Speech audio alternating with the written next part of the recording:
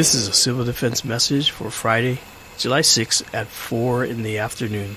Hawaiian Volcano Observatory reports that Fissure 8 continues to be very active and is feeding a lava channel to the ocean at Kapoho. The flow is producing a broad ocean entry along the shoreline and continues to expand into the Kapoho beach lots and the Four Corners intersection. The following policies remain in effect. Four Corners and Kapoho beach lots are closed to any access.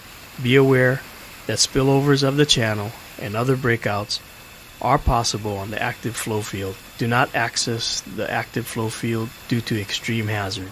The National Weather Service report potential thunderstorms this evening and tomorrow for Lower Puna. Due to the potential thunderstorms, the following advisories are issued. Be aware of lightning. The best place to be is indoors. Expect possible interruptions in your utility services. Be on the alert for malfunctioning traffic signals. Please treat flashing traffic lights as a four way stop. Hawaii Police Department reports one lane of Highway 11 remains closed at the 30 mile marker near Volcano Golf Course subdivision due to a large sinkhole. An assessment will be performed to determine the status of the road. Reminder disaster assistance is available island wide to individuals and businesses in Hawaii County that have been affected by the Kilauea eruption.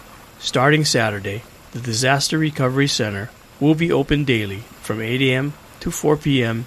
weekends and 8 a.m. to 6 p.m. weekdays. The center is located at the Keaau High School gym. If you need a ride, buses run between the two shelters and the Disaster Recovery Center.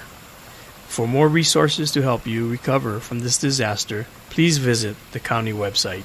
Additionally, the Salvation Army is operating a distribution center at the Pahoa Community Center on Tuesday, Thursday, and Saturday from 9 a.m.